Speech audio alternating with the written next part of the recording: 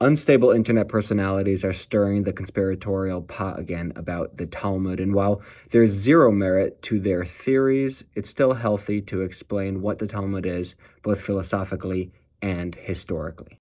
God gave us the Torah some three and a half thousand years ago, and in it are laws. Now, those laws would be almost completely incomprehensible if it weren't for an accompanying explanation. That accompanying explanation is known as the oral tradition. We believe that that oral tradition was given by God to Moshe with the written Torah. So, for example, tefillin. It says in the Torah, thou shalt place it as a sign on your arm and as a sign between your eyes. Tefillin, we know, are black and are square and are made from leather and have compartments, and in those compartments are parchment, and on that parchment is written different texts from the Torah. All of that we wouldn't have if it weren't for this oral tradition, which was passed down with the written law. Now, you may have the theological question why didn't God simply include all of the laws in the written law? Why do you even need an oral tradition?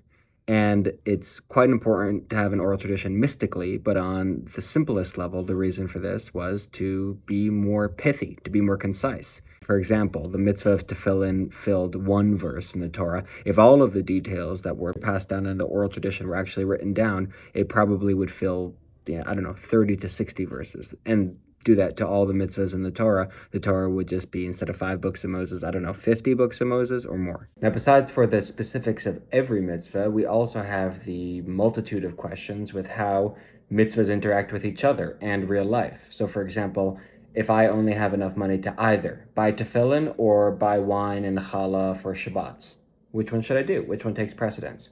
Or if I don't have an arm, how do I put on tefillin?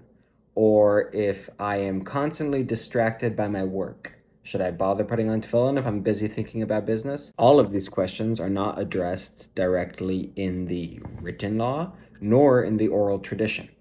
Fortunately, a part of the oral tradition was something called the 13 Principles of Torah Interpretation, with which we can analyze the written law and the oral tradition. Now, those 13 principles of Torah interpretation have to be applied methodically and exactly.